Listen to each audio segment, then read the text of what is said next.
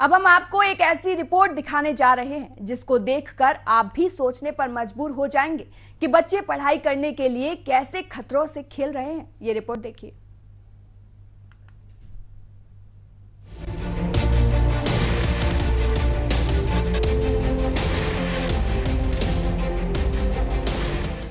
मुश्किलें इंसान का हौसला आफ जाती है, स्वप्न का पर्दा निगाहों से हटाती है। गिर गया तो उठ संभल ए आदमी, ठोकरे इंसान को चलना सिखाती है।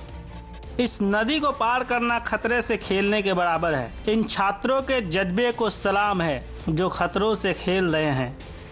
ये तस्वीरें जो आप देख रहे हैं, ये वो जुनून, जज्बे और साहस की मिसाल है जो आपको भी प्रेरित करता है।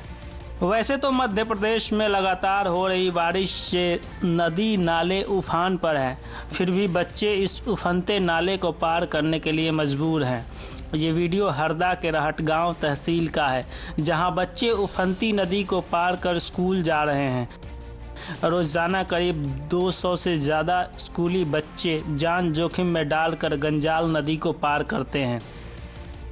खतरों के बीच बच्चे स्कूल जा रहे हैं। ये छात्र रोज स्कूल जाते हैं। करीब 12 गाँव के 70 से ज़्यादा स्कूली बच्चे नदी पार करके स्कूल जाते हैं। लेकिन शासन प्रशासन का इस ओर कोई ध्यान नहीं है। तो क्या हमारे देश का ये भविष्य ऐसे ही संकटों का सामना करके पढ़ाई करेगा? ये तस्वीर सूबे के सीएम शिवराज सिंह चौहान भी देख रहे होंगे। Bureau report.